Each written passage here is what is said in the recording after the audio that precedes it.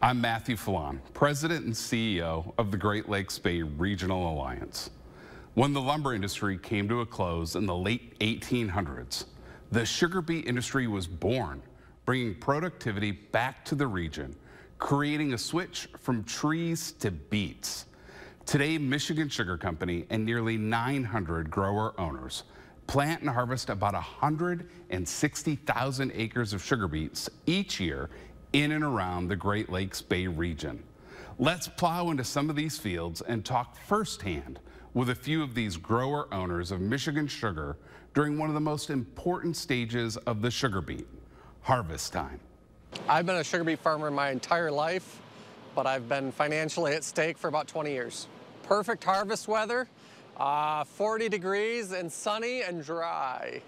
And what do we have right now? Uh, right now we've got about 65 degrees and sunny but muddy. Uh, usually we're we're in the mud for two or three days after a rain event, and just it makes makes it difficult to get the trucks around the field, in and out, puts mud out on the road. Just we decide to harvest based on the temperature.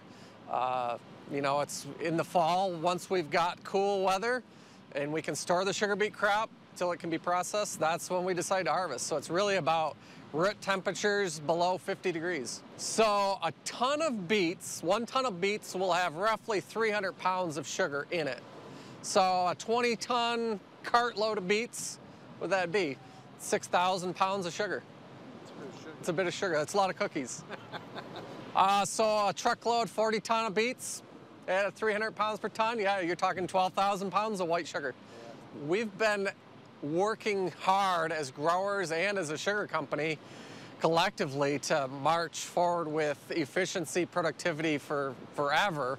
Um, but at Michigan Sugar, the growers, we work really hard on research to improve efficiency, productivity, whether it's variety trials, fungicide trials, uh, you know, fertilizer efficacy. We're trying to do more with less every day, and I think that's really tells a story about sustainability in itself doing more with less. Right. More yield per acre, more sugar per acre, so that we don't need as many acres to grow. Being a sugar beet grower is just a beautiful, special thing that we get to harvest something, grow something, care for it all season, harvest it. I'm integrated as an owner of Michigan Sugar. I can process it and then go to the store and see that sugar on the shelf. That's just, that's special. That's pretty cool. It's pretty neat, yeah. These growers and others under board of directors of Great Lakes Sugar Beet Growers Association, formed a grower-owner cooperative and contracted to purchase Michigan Sugar Company from a bankruptcy in 2002, saving the sugar beet industry in the state of Michigan.